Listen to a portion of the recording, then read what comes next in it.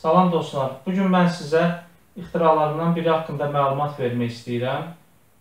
Həmin ixtira dişli çarx ötürmələrinə aiddir. Əslində mən düşünürdüm ki, dişli çarx ötürmələrinə aid ayrıca bir daha geniş formatda bir video dərs, video çəkiliş hazırlayım. Lakin ona qədər düşündüm ki, bir xırda məlumat verim bizim bu ixtiramız haqqında.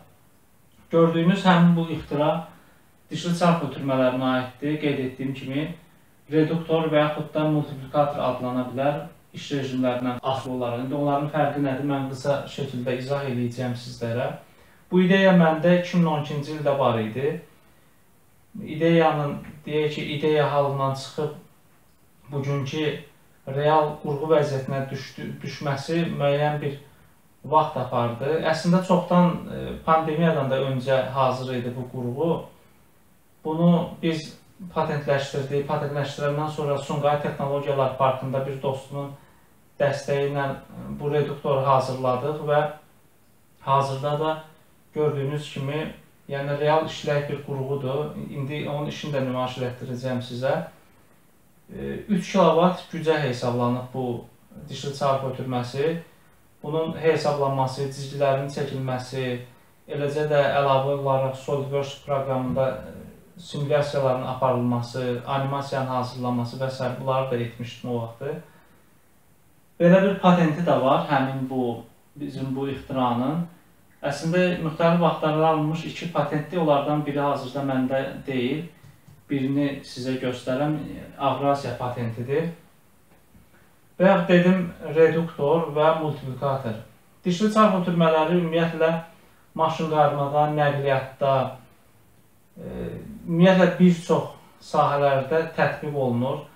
Burada dişli çarx ötürmələrin məqsədi ondan ibarətdir ki, mühərrikdən işçi maşına ötürülən o fırladıcı momentin, fırlanma sürətinin nizamlanmasında istifadə olunur. Nə mənada nizamlanmasında istifadə olunur? Məsəl üçün, avtomobilləri götürək, mexaniki e, sürətlər qutusu olan avtomobilləri. Orada yəni istifadə olunan sürətlər qutusu adi deyək ki, dişli çarx ötürməsidir. Sadəcə olaraq fərq ondan ibarətdir ki, orada biz ötürmə ədədini dəyişə bilirik. Yəni ki, dişli çarx ötürməsi gah reduktor rejimində işləyir, gah da multiplikator rejimində işləyir.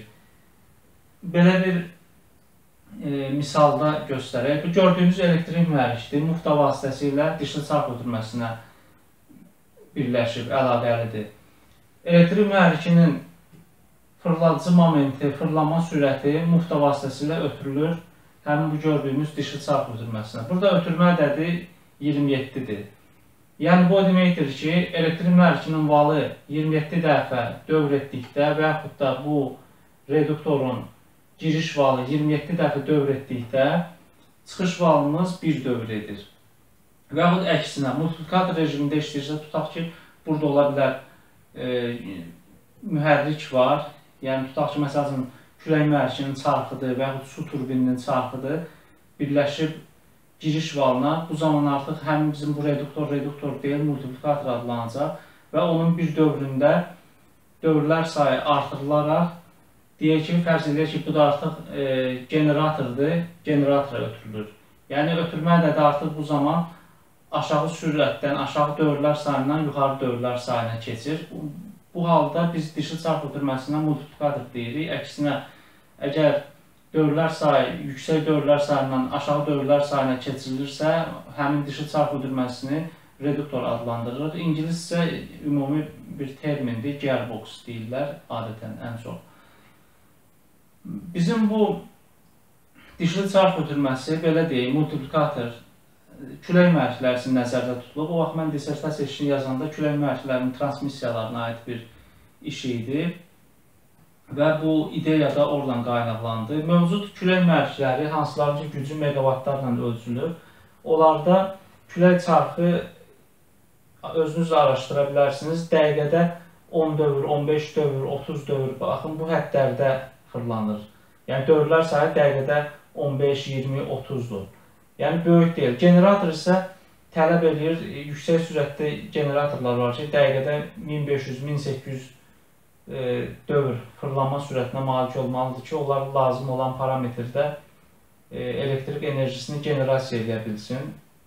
O məqsədlə də külək çarxından və yaxud su türbinindən alınan o aşağı sürəti, aşağı fırlanma sürətini belə bir e, dişli çarx ötürməsi vasitəsilə artırıb generatorlara verilir. Düzdür, hazırda elə generatorlar var ki, onlar aşağı dövrlər sayında da işləyir. Bu zaman dişli çarx ötürmələrinə ehtiyac olmur. Məsəl üçün, o cür külək mərkləri mövcuddur, hansı ki, külək çarxıdır və generatordur. Ara arada aralıq ötürücü, belə bir ötürücü yoxdur.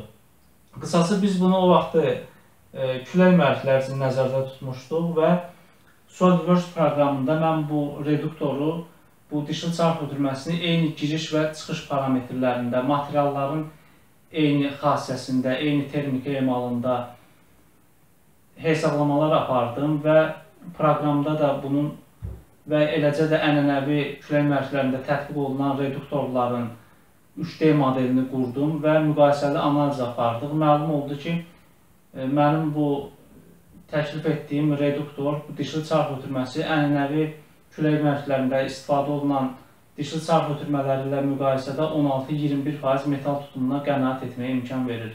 Bu da nəyin hesabınadır?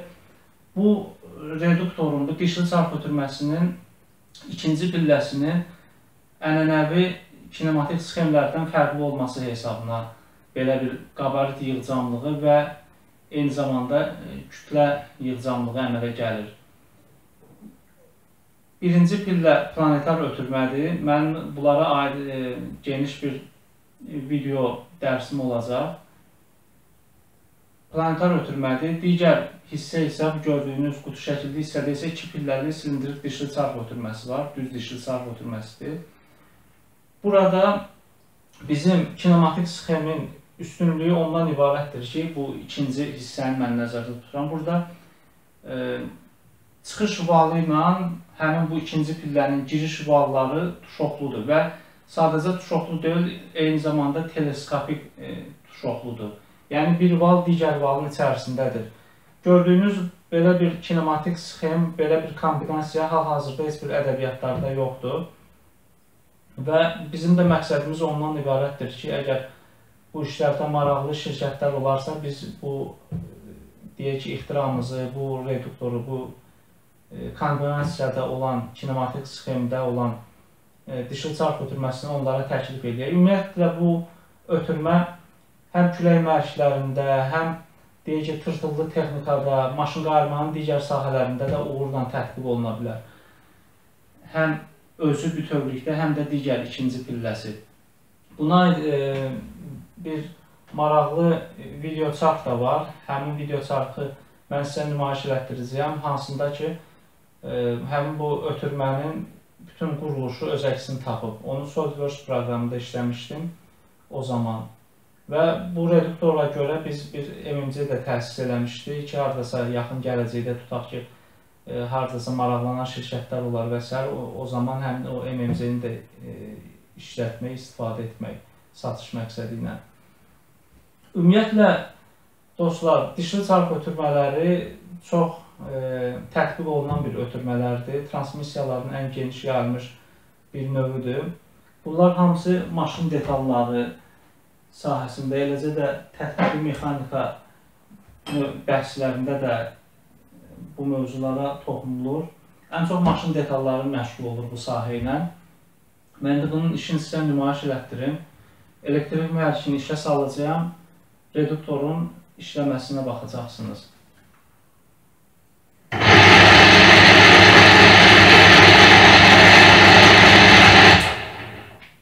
Verdiniz, elektrik mühərriki yüksək sürətlə fırlanır bu e, çıxış valı. Eyni zamanda fırlanma sürəti, həmin o yüksək fırlanma sürəti ötürülür reduktorun giriş valına. Çıxış valında isə, reduktorun çıxış valında isə e, nisbətən aşağı sürətdir. Onu da qeyd edeyim ki, burada fırladıcı moment bu ötürmə ədədi nə qədərdirsə, o qədər dəfədə dəyişir. Yəni ki, əgər sürət burada çoxdursa, tutaq ki, 27 fərqləndir. Burada tutaq sürətimiz fərz edək ki, 270-dir, dəqiqədə dövrlər sayı. Məsəl üçün 270 dedim, əslində çoxdur Burada da 270-i 27-yə böləndə dəqiqədə 10 dövr sayı alınırsa, bu elektrik mühərrikindən ötürülən fırladıcı moment tutaq ki, 10 Nm-dirsə, 27-yə vurulur, biz çıxışda alırıq 270 Nm. Və əksinə multiplikator rejimində isə sürət nə qədər azdırsa, e, girişdə fırladıcı moment bir o qədər çoxdur. E, daha doğrusu multiplikatorlarda e, giriş valında moment böyükdür, sürət aşağıdır, çıxış valında isə moment kiçikdir, sürət yuxarıdır. Və bütün hallarda girişdə itkiləri nəzərə almasaq, girişdə və çıxışda güc demək olar ki, eynidir. Daha doğrusu necə eynidir? Tutaq ki, reduktorun faydalı şəmsalı məsələn 90%dirsə, 0.9-dursa, elektrik mühərrikində gücü 1 kW-dırsa, biz çıxışda o itkilərə görə artıq 1 kW, yəni 1000 vat almayacağıq. 1000-i vururuq 0.9-a, yəni bu reduktorun faydalı şəmsalına məlum olur ki, çıxışda biz e, 900 vat gücə malikik. Bir daha nümayiş elətdirim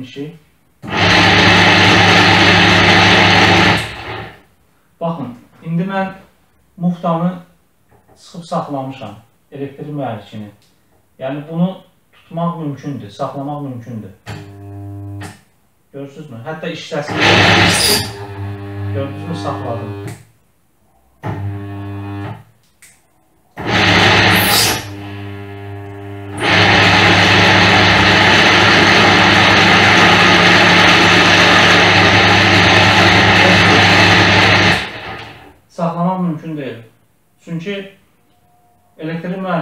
Mühərrikinin fırladıcı momenti bu çıxış valında 27 dəfə artır.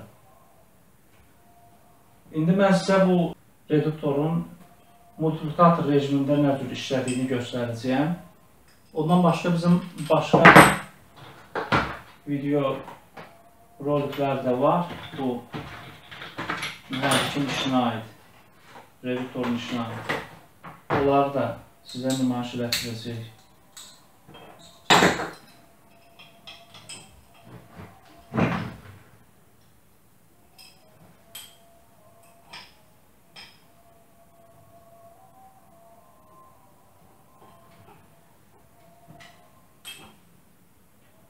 Dəstəyi bura ona görə bərkdirir ki, giriş valında fırlanmasını nümayiş elətdirək. Onu da deyim ki, bəzi yoldaşlar var idi. Bizim bu reduktorun kinematik sxeminə baxanda deyirdilər ki, bu işləməyəcək. Valların iç-içi olması, yastıqların belə maraqlı bir formada düzülüşü həmin yoldaşları biraz çaşdırırdı. Çünki mövcud maşın detalları kitabında gözləri öyrəşmişdi ki, ənənəvi reduktorlar görsünlər. Amma biz sübut etdik ki, bizim kinematik sxem işləyə bir sxemdir.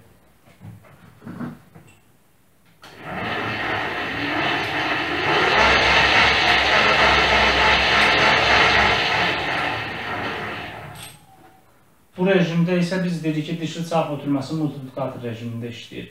Yəni, aşağı sürətli su çarxı və yaxud külək mühərrikinin deyək ki, külək çarxı qoşula bilər bu giriş valına. O zaman çıxış valında biz ötürmə ədədinə uyğun olaraq yüksək sürət alırıq, yüksək bucaq sürəti, fırlanma sürəti alırıq, hansı ki, o da deyək ki, generatorun işini təmin etmiş olur. Ümumiyyətlə, e, bu reduktorlardır, dişli çarx ötürmələridir. Bunlar hamısı qeyd etdiyim kimi maşın detalları, maşın hissələri fənnində öyrənilir. Hazırda bəzən xarici ədəbiyyatlara, onların e, ədəbiyyatlarda həmin dərsliklərin adı maşınların dizaynı kimi gedir. Amma mən razı deyiləm o terminlə. Maşın detalları və yaxud maşın hissələri kimi adlandırılsa daha münasib olar. Yəni, bu mənim fikrimdir. Çünki maşınların dizaynı deyəndə ümumilikdə bütün maşınlar nəzərdə tutula bilər. Çünki maşın, bilirsinizmi, maşın deyəndə Bir çox e, adi adamlar adətən avtomobil nəzərdə tutur, elə başa düşür. Amma ki, kalkulyatorun özü də maşındır, kompüter də maşındır, gördüyünüz bu transmissiya bunun özü də bir maşındır və yaxud da avtomobildir, nəqliyyatdır, texnoloji maşınlardır. Bunların hamısı ümumilikdə maşındır. Ona görə də maşın detalları adlandırılsa, həmin fən, həmin sahə daha yaxşı olar, daha münasib olar. Çünki gördüyünüz bu ötürmənin özü də hər bir hissəsi bir detaldır, bir hissədir, maşın hissəsi adlanır və onların hesablama metodikası var, hesablama qaydası var və ümumiyyətlə maşın hissələrində, maşın detallarında ümumi təyinatlı maşın hissələri öyrənilir. Ümumi təyinatlı maşın hissələri də nədir? Dişli çarx ötürmələrdir, qayış ötürmələrdir, qasnaqlardır, ulduzluqlardır, zəncir ötürmələrdir, bolt qayka birləşmələrdir, sökülə bilən və sökülə bilməyən birləşmələr. Bunlar hamısı maşın detallarında öyrənilir və ümumi təyinatlı maşın hissələridir. Həmin o sadaladığım maşın e, detalları, maşınlara aid olan dişli çarxlar, bolt qayka birləşmələri, qasnaqlar, qayış ötürmələri və s. E, xüsusi təyinatlı maşın hissələri də var. Xüsusi təyinatlı maşın hissələrdə məsələn tutaq ki, daxili yanma mühərriklərində pistonlar, porşenlərdir, dirsəkli baldır. Bunlar xüsusi təyinatlı maşın hissələridir və bunlar da onlara aid olan fənlərdə, sahələrdə geniş öyrənilir, ətraflı öyrənilir. Mən indi e, yaxın zamanlarda maşın hissələrinə aid maraqlı video dərslər, video çəkilişlər eləyəcəyəm və çalışacağam ki, bu dərslərdə, bu çəkilişlərdə hər bir transmissiya haqqında, hər bir ötürmə haqqında, yəni reduktorlar haqqında, friksiyon ötürmələri haqqında, zəncir ötürmələri, qayış ötürmələri haqqında ayrı-ayrılığa da daha ətraflı məlumatlar verim sizlərə. Ümid edirəm ki, bizim bu ixtiramız da nə vaxtsa hardasa maraq əmələ gətirər və tətbiq tapar. Ona aid olan maraqlı e, mövzularda olan deyək ki, hazırladığım animasiyalarda, video çaplarda sizlərə təqdim edəcəyəm. Diqqətinizə görə minnətdaram. Çox sağ olun.